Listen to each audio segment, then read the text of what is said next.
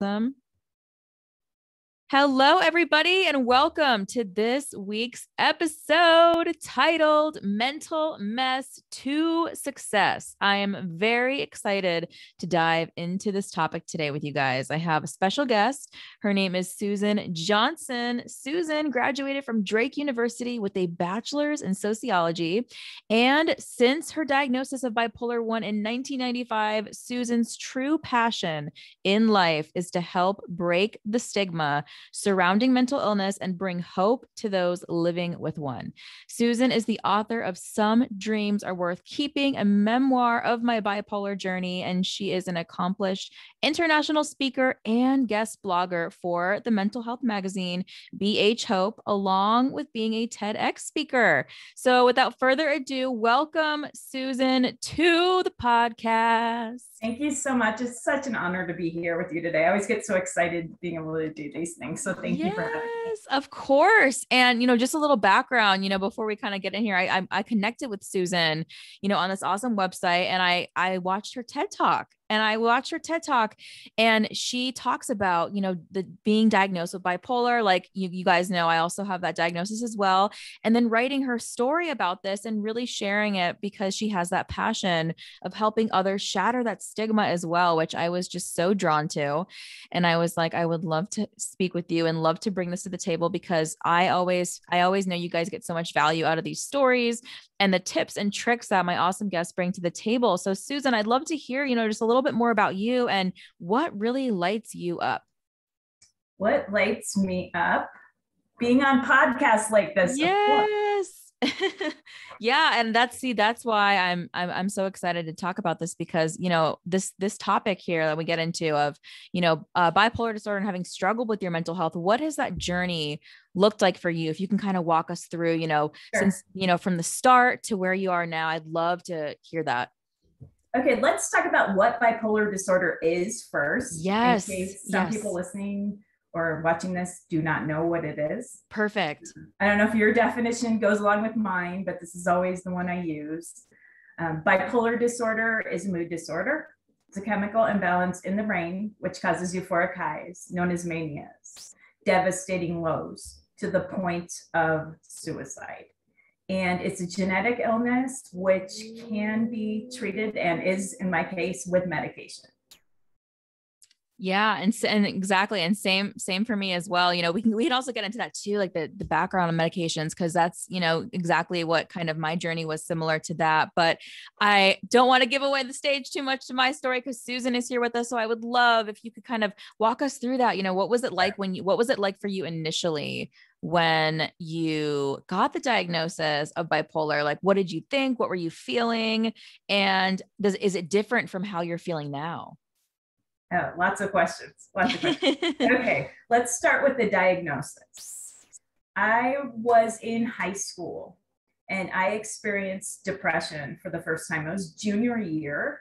And I had a lot of friends. I was a California girl all the way, was at the beach, and I was depressed.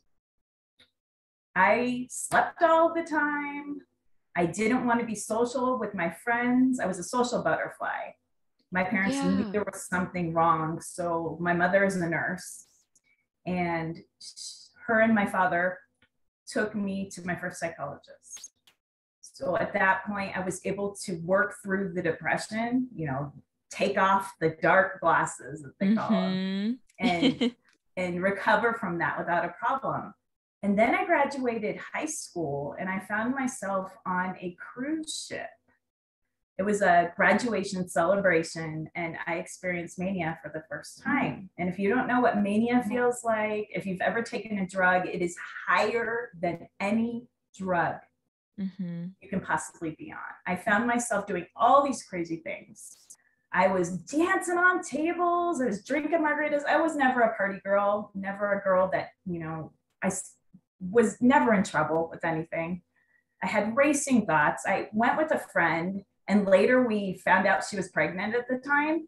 Wow. We got so mad at each other. We went our separate ways. Oh my I gosh. found myself writing in this journal at like 2 a.m., listening to these vacuums, mm-hmm. and I could solve all the world problems. You know, I had the answers to everything. And I looked at myself and I didn't recognize who I was. And I wow. knew there was something wrong. And my mother knew right away when she picked me up from that weekend what was going on because my uncle has bipolar disorder. Yeah, see the genetic. Yeah. Yep. Since it's that genetic link, uh, luckily she was able to find a psychiatrist to treat me from home or from his office as oh. long as he agreed to take lithium. Mm-hmm. Now, I was scared to death of hospitals. You know, oh. you, there's nothing wrong. You know, you're a maniac. You don't have a problem. Why would I need to be in hospital?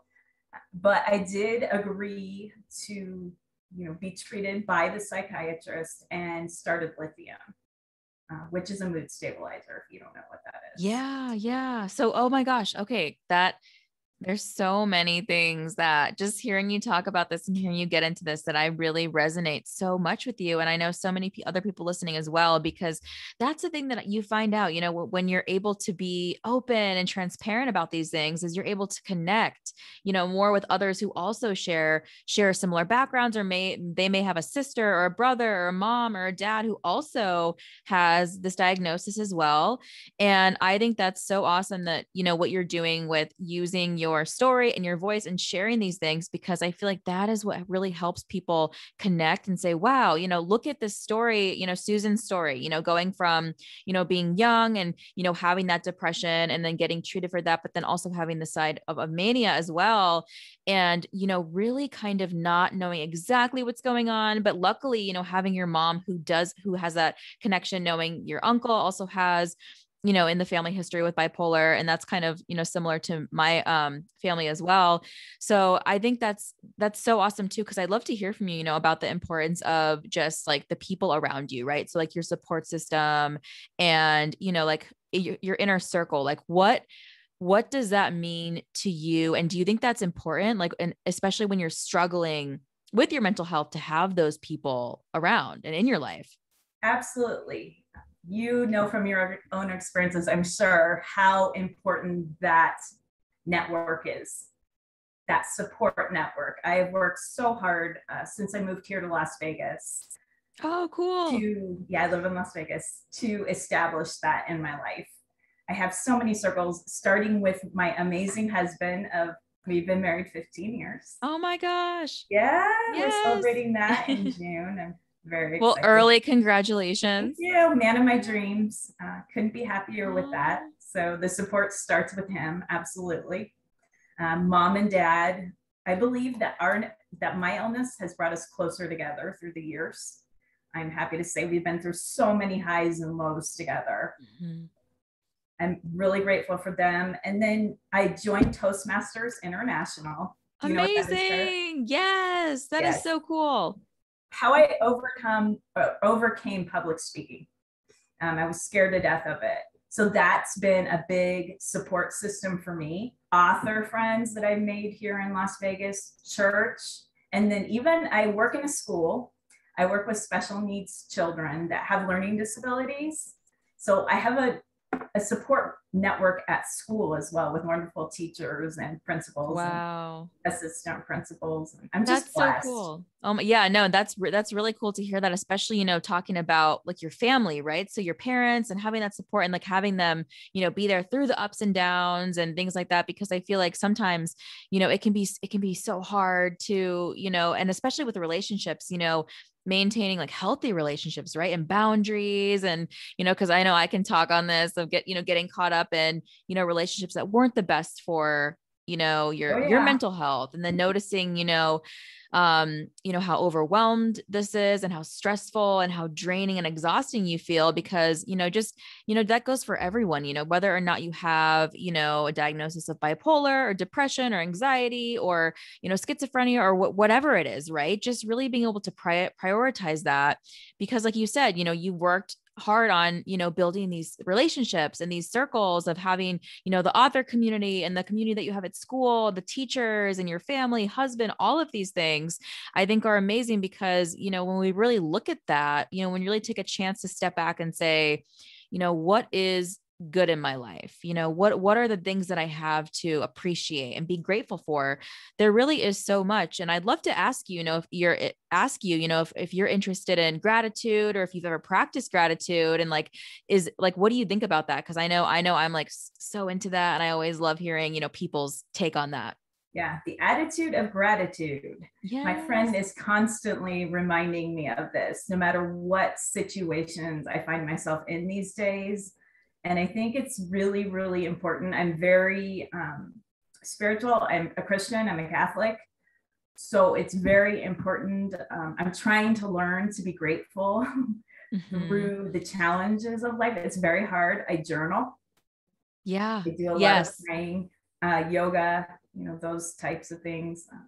It's hard yeah. though. I mean, to it, be real with you, it's hard when it gets hard to, to yes. oh, thank you, God, for you know the situation in my life it, it's hard. No you're you're a hundred percent right and i'd love to ask you too like in those moments you know when when it is really hard and really challenging because i because i know you can sit there and say oh cool, okay cool like i'll just go do yoga or i'll just do meditation or i'll just do a journal but it's in that moment where you're really you know dealing with something it's not always so easy to you know turn that off and just you know shift into this you know state that we you know that we kind of think would help, right? With recognizing these things we're grateful for. So, what really helps you, you know, in those moments? Like, is there a certain thing that you go to to help with that? I'd love to hear what, what there is on. my dear friend Sarah. She, yes. I text her. She is um, the god. My, she's the godmother. Uh, I'm the godmother of her of her child. Oh, cool. Oh my gosh. So you, so, so you'll just reach out. my own. I don't have kids of my own because of bipolar disorder. We chose yeah. not to have it because of the genetics. And yeah. is my goddaughter. And her mother is Sarah. Mm-hmm. And I text her and you know call her and spend time with her. And she reminds me, you know, to thank God through mm-hmm. everything. See, that's amazing. Like the just like going back to that again, you know, like that support network of having those people in your life and you guys really how important that is because, you know, especially when you're looking back on certain points of your life when you feel like you didn't have that, you know network or you didn't have that support you know the same way that you do now because i know that and that shifts that's different for everyone right? Like at, at, every point in your life you know you might say oh you know during this time you know i don't really think i had those relationships but i do now. And you know that's an awesome thing too is like being able to cultivate those. And like you said one of the biggest things that i think is really cool with your story is public speaking and doing the ted talk because you talked about how afraid you were of that and you didn't like it and then overcoming that and getting up on stage and giving this speech mm. about such an area of your life that, you know, it can seem really personal to some people and sharing this I thought was so cool. So mm-hmm. I would love to ask you like what was that mm-hmm. like for you? That in- was you want to talk about bipolar episodes. I spent 14 months on that talk. Wow. I gave it was all memorized. Wow. And I don't know about you, Paris, but for me, memorizing things is really difficult, which is why college was so hard. Mm-hmm. I think it's different for everybody. Oh yeah. It's it was and everything had to be memorized. Wow. So, well, you did so good, you know, and I can link, I can link that because that that's what I think is so cool is that especially when you're talking about, you know, this connection, right. Between, you know, mental health and mindset, right? So, and like the fact that you poured into that and into your mindset and saying, you know what, I can do this. I'm going to get up on the stage. I'm going to prepare. I'm going to memorize this and I'm going to share this because you had a purpose and a, mis- a mission in doing that to help others say, see, and say, you know, look at me, you know, I've overcome these obstacles and I've gone through this and this thing. But here I am today, you know, in front of you guys to let you know that you know it doesn't have to stop you and and and here's ways of overcoming that. So i thought that was so cool because you know i'm also very very similar to you. I was you know still like very afraid of public speaking never never would do it you know never thought i could do it or would know how to do it or any of these things. So i think that is so cool. And you know like what so what was that like for you when you like stepped off the stage like after you were done you would think it was like victorious, but I was kind of beating myself up. I was like, oh, oh did I say this? Mm-hmm. Did I say that? And then I went over to my coach and to a lot of they're like, oh my gosh, you nailed it, girl. Oh. And I was just like, you know what? I did. Yeah. I, like, I did nail that. And, you know, Mhm. the phone's blowing up and emails are blowing up. And my husband couldn't be there because of COVID, Yeah. because we only could have a certain amount of people. And Mhm. it got moved two times. Wow. Wow. Well, that see the thing is like you did it. You did it. And that's Yeah.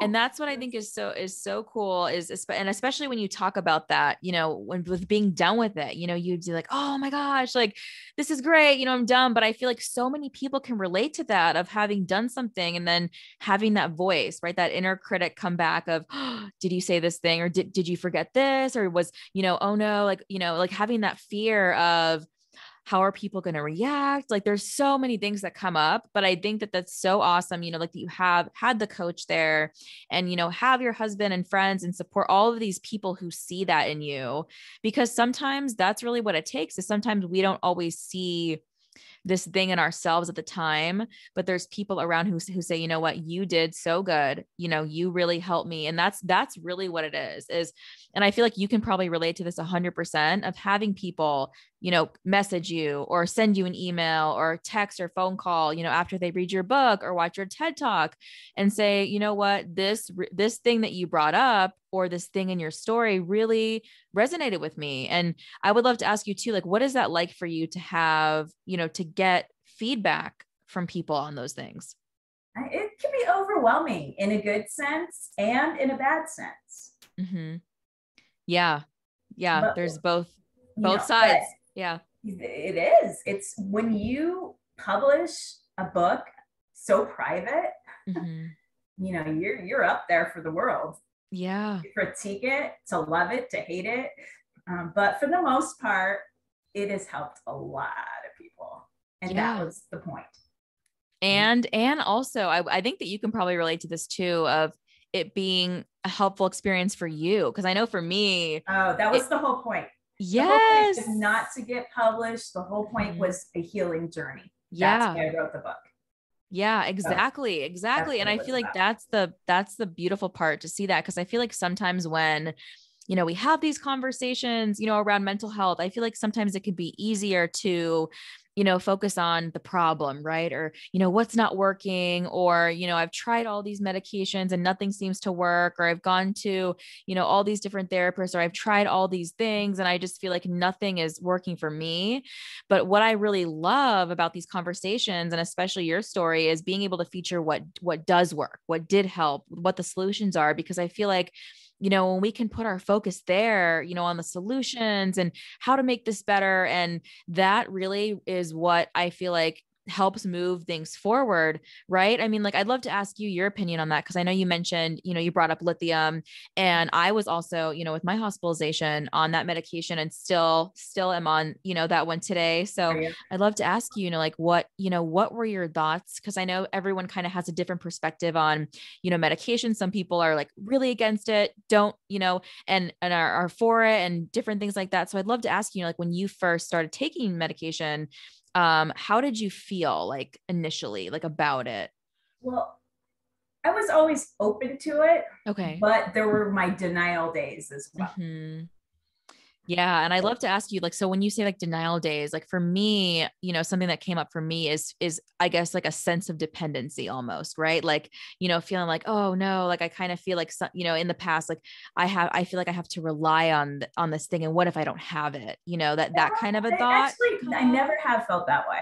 Oh my yeah. gosh. Okay. Yeah, Interesting. See, I love, never yeah. have felt that way. So yeah. So Interesting. Yeah. So with the, den- so with the denial part, like, like talk more about that. Like, what do you, what do you mean about, yeah. So for me, it was uh, so I was diagnosed, and then I moved to Iowa, went to college, as we mentioned, Drake Yeah. University. And at that time, I got so depressed, I needed a change in my life. So I Mhm. moved to Virginia, lived with my aunts, um, got ended up in a toxic relationship. I had a psychiatrist, and he didn't keep he didn't refill my medication. Oh, I was on an antidepressant. Mhm. So at that point, I went off everything. Mm, Disaster. yeah. You know, lost job, my job, lost, you know, the, the relationship, the toxic relationship just got worse, verbally Mhm. abusive. I mean, it was it was disastrous. And my parents talked me into going to another psychiatrist, mm-hmm. but I didn't tell them I had bipolar. Okay. I told them I had anxiety. Mm. So for mm. me, that was denial. So he put me on medication. I lost mm, 20, 25 pounds. People, wow. I had anorexia. Wow. The, drug, the drugs it was on for anxiety. Yeah. Yeah. And see, that's, that's what I think is, that's what I think is cool too, is like you've had the experiences so you can help other people who might be in that position, right? Who might be in that yeah. position right now where, you know, they're, you know, struggling with, you know, whether finding like it's the right medication, the right therapist. And because, you know, for me, I feel like there's, I always try to encourage people, you know, just besides, you know, uh, you know, going to counseling or taking your medications, doing things for yourself, right? In your daily yeah, life. Self-care is big. Yes. I just put a blog on that one actually. See, um, see, yes, I love, and like, I think that's so amazing because that's what I think really helps so much is our daily habits, right? And how we speak to ourselves, you know, also like port, like what you do for yourself, you know, whether you listen to podcasts, like to read books, you know, write, journal, go on walks, you know, exercise, what kind of foods are you eating? Are you getting enough water, sleep, relationships? Yeah. There's things, there's so much. And I feel like we could talk yeah, for like, it's like a balancing act, isn't it? Yes. That's what I always say. It's like being yes. on a tightrope you have to stay on it or you can slip off quite easily. Yeah, no, yeah, exactly. And I feel like that's like that's what I like to, to focus on too is all those factors and how, you know, those can all come together to really help with prioritizing our mental health and having these more of these conversations. And, you know, I'd love to ask you too, you know, since um like what what is your um, this is a I always love to ask everyone this question because I always get a different answer and it's so fun to see what people say. So, since you're out here today, Susan, on the Master Your Mental podcast, I would love to ask you, what are you currently doing right now in this moment to master your mental? What am I doing at this moment master my mental? Huh. Make me think. Make me think. I like it. yeah. I think just having this conversation mm-hmm. is mastering my my mental. Mm-hmm. And see that that's what I think is so, and I because I feel like that's what I love about this is, you know, being able to meet with such awesome people, you know, like you and having them, you know, come out here and share your story, share your tips and share your experiences and really get into this stuff because, you know, sometimes I can feel like it can be challenging, you know, especially like, like what was it like for you? So the, I guess, um, with your book, right? So publishing your book and doing all that, like, when you published it after you did that how did you feel? Like did you have any kind of you know hesitations? Like like where'd you go back and forth? Like oh like i did this and i'm it's so awesome and i'm so proud of it. Did you have those moments? Because i know for me i certainly i definitely had those moments where i would kind of go back and forth with oh like well, you know I, mean, I did this. about like who's reading this? Like my mom and dad are gonna like know things. Yeah you know, like my husband you know what i mean? It's kind of scary. I mean, like mm-hmm. really let every everybody yeah you read yeah. your private details yeah you're right and that's that's what i like though about memoirs right is oh, going oh, yeah. into those details and it's like i feel like every time you you're done you feel like you know this person kind of like you feel like you're you've met them before and it's like that's what's really cool about it is because i feel like there's always something that everyone can relate to right and like even you know i feel like certain people you know who might not know a lot about you know bipolar disorder they might feel like just because they don't know a lot you know they feel like they might not be able to relate as much but i feel like there's always something within your story or my story or someone else's story where they could say, oh, I've had moments like this myself, or, you know, oh, my sister has, has, experienced a lot of things similar to this. And wow, like reading your story really helps me understand, you know, how to connect with her better or how to help her better. You know, have a better interesting thing I wasn't really expecting is I'm hearing from a lot of families. Yeah. I'm now understanding my child who mm-hmm. has this. Thank you thank you for an insight. I use a lot of journals in my book. Yeah. So manias are in there. And I was able to have to use my doctor records from my psychologist. She took some amazing records. Um, so I was able to get a copy of them and then to, to jog my memory because I don't think I would have remembered everything. Yeah. Exactly. No, me too. I I relate to you as as well. I feel like there's certain things you just don't have that memory of. And I, and I, I feel like that's the most beautiful thing about this story, right? Is having people come to you, right? Being able to say, wow, like I have a son or a daughter or a husband or a wife or whoever who I feel like I I totally understand better because it's it's always I feel like I feel like sometimes it's hard to, you know, get it from that person because I guess like maybe sometimes the way they communicate it, you might not fully like understand it. But then when you read it, you're like, oh my gosh, like look at what she's talking about. This is exactly what, you know, yeah, makes sense. Yeah. So cool. So, so, so cool. Oh my gosh. And Wow. Uh, okay, Susan, I feel like I could talk to you. I know. All, we like, need to get all, together. I don't even know do. where you live. Where do you live, Paris? I am in Scottsdale, Arizona, and you're in Las Vegas. I am. Vegas, super cool. Oh my gosh. So see, we need to we exchange do. books. Come on. Yes. We do. We really, really do. And I, I can definitely sense like a lot more coming up after this, you know, a, a lot more collaborations and conversations because okay. I love this and I love your story. I love what you're doing. And I love, you know, the fact that you are one of those brave souls who's able to share that because not everyone is able to and they want to and i i definitely feel like they're going to get there they will at some point uh, in their life but it's different for everyone in their journey. So yes. i just want to thank you you know for coming out here and making the time to speak with me and share all of these awesome things that you did with us today. Um, it means a lot and i loved our conversation. I can't wait to feature it and you are amazing. So thank you susan. Thank you. I have one thing to leave with okay um, yeah. if you, if anyone who is watching this or listening to this is struggling right now, hold on, hold on, hold on, hold on, because things will get better. Mm-hmm. Trust us on this one. 100%. And don't be afraid to ask for help. You know, so yes. many people are living with what we're living with. Mm-hmm. So always remember there's light at the end of the tunnel. That is Amazing. Yeah. Exactly. I love it. Oh my gosh. And you guys, okay, whether you are listening during the daytime or the nighttime, I just want to say bye to you guys. And thanks once again for tuning into this episode and listening to Susan's story. I'm going to be sure to link some information about her in the show notes so you guys can learn more about her and her journey. Um, and on that note, I want to end it there and say thanks, thanks to you guys for tuning in and thanks for Susan for coming out here. Thanks so bye guys. Me. Bye. Thanks.